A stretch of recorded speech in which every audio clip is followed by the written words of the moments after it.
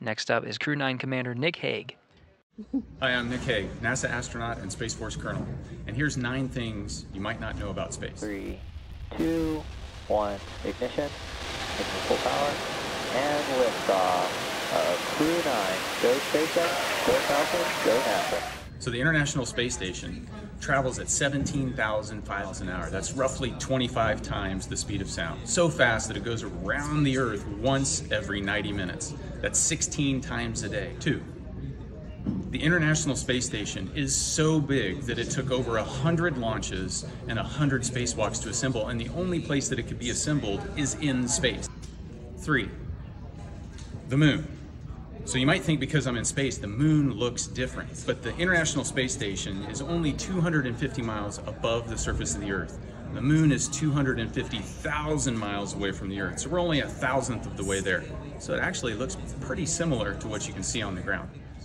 Four, space is congested. What does that mean? It means when I go to the window of the International Space Station, I can see the other satellites, especially when it's nighttime outside and we're about to sunlight. The sun's light will reflect off those other satellites. Five, we recycle 96% of the water that we consume on the space station. I'll let you think about that one. Six, showers.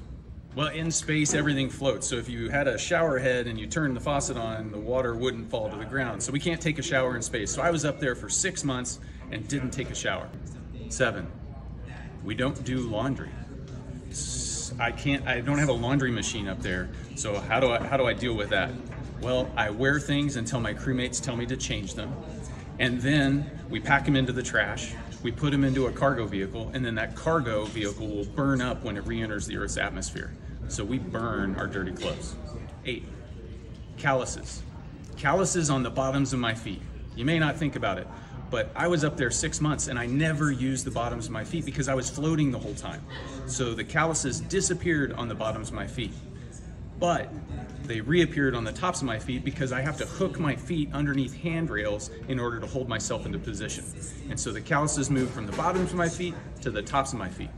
After I land, it goes in reverse. So I've got calluses back on the bottoms of my feet now. Nine, sleep in space beats sleep on Earth any day.